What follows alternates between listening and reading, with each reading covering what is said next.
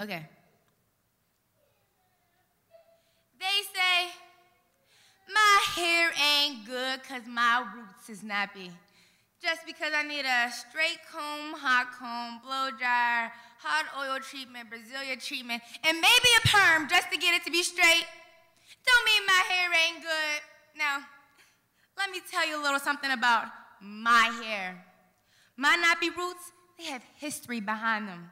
Each hair follicle still shriveled up from all the hard labors in the field, and each nap intertwined perfectly because there's still some closeness in my black community.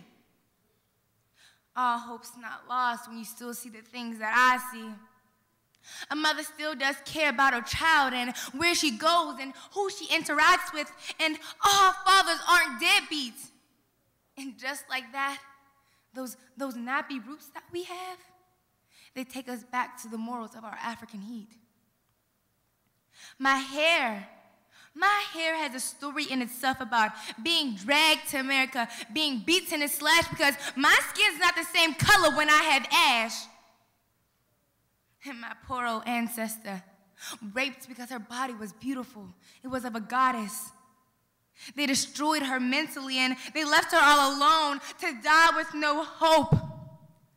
My African queen, being mistreated because her, her skin wasn't the color of the clouds, but, but rather that beautiful smile. And oh, oh, let me tell you about my king.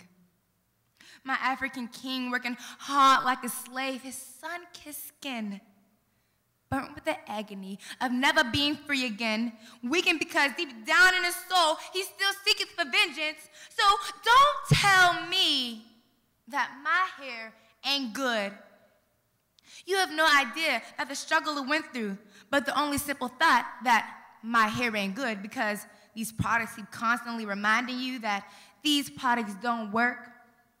But in reality, no one knows the real venue to tame my hair Man, that product been off the menu. The same time my ancestors got off the ship and had to start serving you.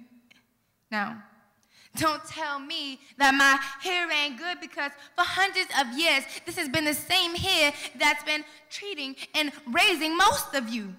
In fact, my hair is good because little do you know, this is the same hair that is the backbone in most of you. And um, yeah, that was my poem. Thank you.